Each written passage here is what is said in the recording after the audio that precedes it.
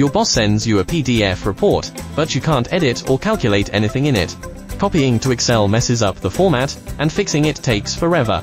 Don't worry, today I'll show you a simple trick to convert a PDF file into an Excel table.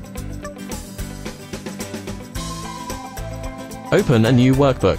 Click Data tab. Get Data from File, and then choose from PDF. In the popped-out window, select the PDF file that you want to convert to Excel. In the Navigator window, Excel will show all the data it detects from the PDF. If there's only one table, just select it and hit Load. Excel will drop it right into your worksheet.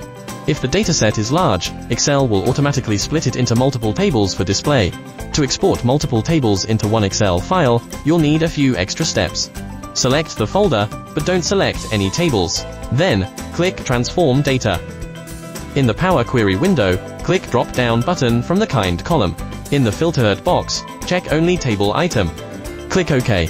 Now, right-click the Data column. Select Remove other columns.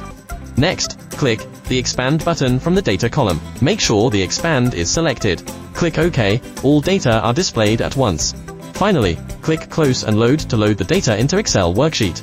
After a short wait, all the data will be imported into the Excel worksheet. See how easy that was.